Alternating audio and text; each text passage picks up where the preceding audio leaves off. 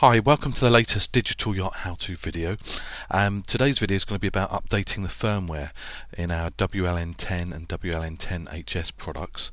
Now I have done a tech support note on this and this video does assume that you've got that tech support note from our uh, website. If you go to the support section and then tech support notes and it's tech support note number 00051.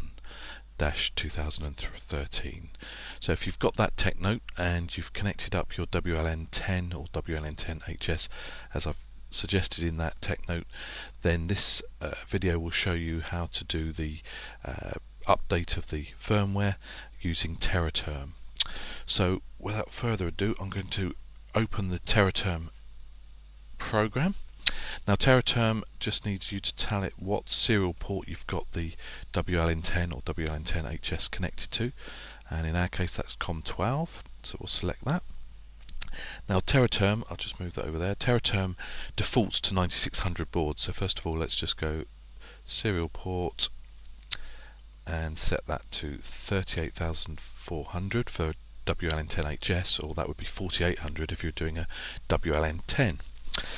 Okay, so we've got the terminal program open and I'm just going to plug in the power to the WLN10 now and you'll see the boot up string. There it is. And now this has got version 2.32 firmware in, which was quite a common version of firmware um, on all the units we sold last year. Um, and we're going to update it to version 4.00, which uh, will give uh, compatibility for Android and it will also uh, give access point mode as well which is a more stable method of connecting to the WLN10 or WLN10HS so that's proof that we've got communication with the module.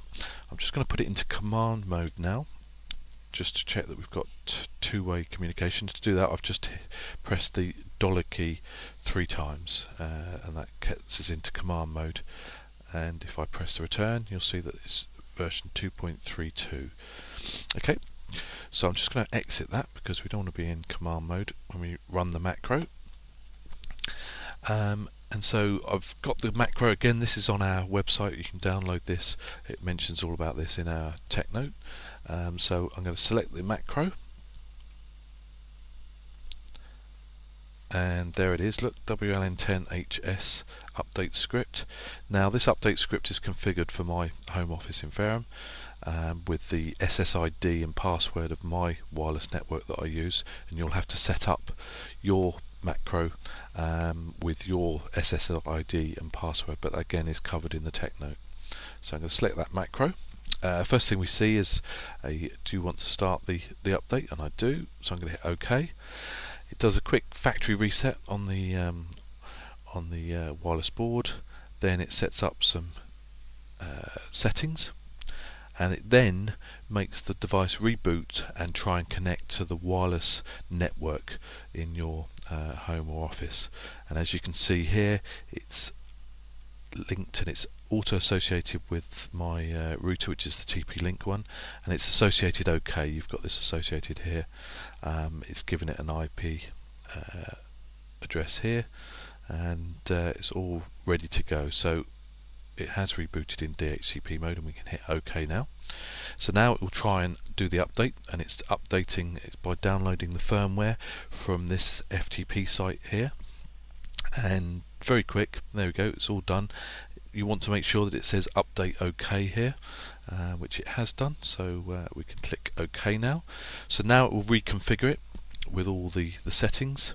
And uh, once it's done all of that it will ask us to give the four digits for the SSID that we want to do. Now I'm just going to put 1 2 3 4 in here but hopefully you've made a note of what your uh, four digits were before you started the update process and just enter those here.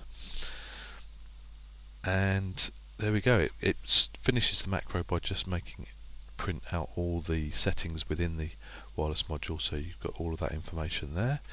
Um, and that's it. So I'm just going to bring back up that macro. So the update's completed. Press OK to exit. And it just reboots. And the important thing here is that you can see that it's now version 4.00 it's in AP mode and it's listening there waiting for somebody to connect so that's it everything's updated. That's exactly as you should see it on your system and your uh, WLN10 or WLN10HS now is fully updated to the latest firmware.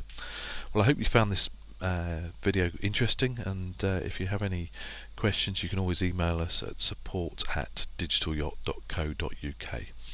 Alright, thanks for listening.